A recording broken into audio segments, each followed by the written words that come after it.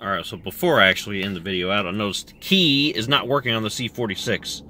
What else is new? It's like an obvious thing with like none of these things ever work. So let's try reprogramming it. Which I've done in another video, but make sure your door's closed. Key in the one position. Off. Hold unlock. Lock three times. One, two, three. All right, they're programmed.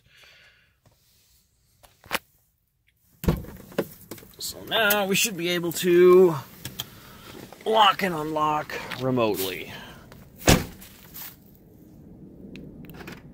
Locked.